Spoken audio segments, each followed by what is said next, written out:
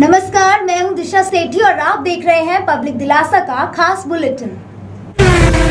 Indian hockey team के कप्तान सहित तीन अन्य खिलाड़ी corona positive. Rajya Sabha member Naresh Gujral भी कोरोना संक्रमित पाए गए। इब्बन कला गाँव में पटाखा फैक्ट्री में बड़ा धमाका। फायर ब्रिगेड और पुलिस प्रशासन मौके पर पहुँचे और आग को किया काबू।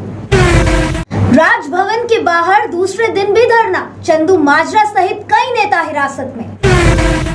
कोझिकोड पहुँचे केंद्रीय मंत्री हरदीप पुरी। पुरी ने राहत कार्यों का लिया जायजा। ओडिशा में महसूस किए गए भूकंप के झटके रेक्टर स्केल पर तीव्रता 3.8 मापी गई। कोटला तरखाना में जहरीली शराब से एक मौत, पुलिस पर कार्रवाई न करने का आरोप। विधायक अमित विज कोरोना पॉजिटिव, खुद को घर में किया क्वारंटीन। जहरीली शराब मामले में सोनिया आवास का होगा घेराव। अकाली दल ने की 11 को आवास घेरने की घोषणा। बठिंडा में कोरोना मरीजों ने किया प्रदर्शन।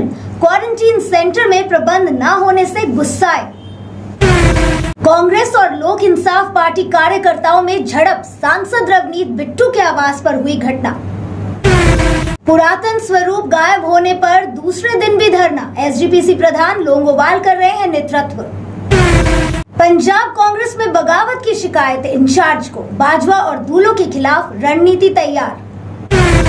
गुरु नानक देव अस्पताल में प्लाज्मा बैंक की शुरुआत, डीसी ने टेली कॉन्फ्रेंसिंग सेवा की भी शुरुआत की। जोड़ा फाटक अंडरपाथ सितंबर से बनना होगा शुरू, उनतीस करोड़ की लागत से बनेगा ये अंडरपाथ नशे के खिलाफ अभियान में तेज़ी, डिप्टी मेडिकल कमिश्नर अमृतसर ने बताया, केंद्रों में मुफ़्त दवाई। खबरों का ये बुलेटिन यहीं पर समाप्त होता है। मुझे दीजिए इजाज़त और आप देखते रहिए पब्लिक दिलासा चैनल। नमस्कार।